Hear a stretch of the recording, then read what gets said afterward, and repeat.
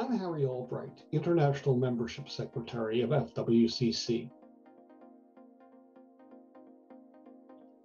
FWCC stands for Friends World Committee for Consultation. It's not the snappiest of titles, but to help understand the name, it's helpful to understand our roots as an organization. FWCC was established at the Second World Conference of Friends, held at Swarthmore, Pennsylvania in 1937.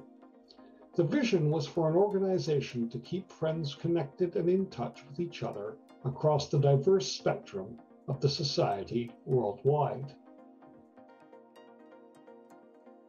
Keeping that vision alive today, FWCC works collaboratively with friends around the world through five offices the Africa section, the Asia West Pacific section, the Europe and Middle East section, the section of the Americas, and of course the World Office. Our mission statement is Answering God's call to universal love, FWCC brings friends of varying traditions and cultural experiences together in worship, communications, and consultation to express our common heritage and our Quaker message to the world. The word consultation is important. FWCC is not, and never has been, an authoritative body which can impose things from above.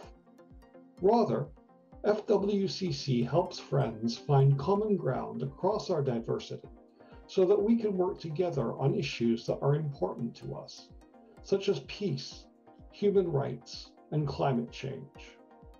The work of the Quaker United Nations Office is made possible through FWCC's accreditation at the UN. One of the ways we fulfill our mission is by bringing friends together, both in person and virtually, at section, regional, and global gatherings.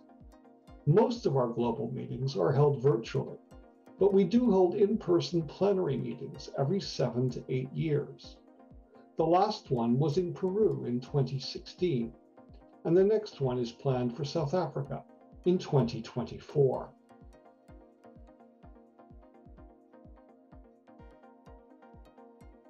Nearly all yearly meetings in the world are affiliated to FWCC and their members are the members of FWCC.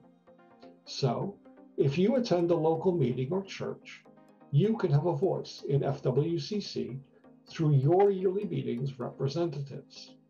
You can even become involved yourself, for example, by serving on a section or World Office committee.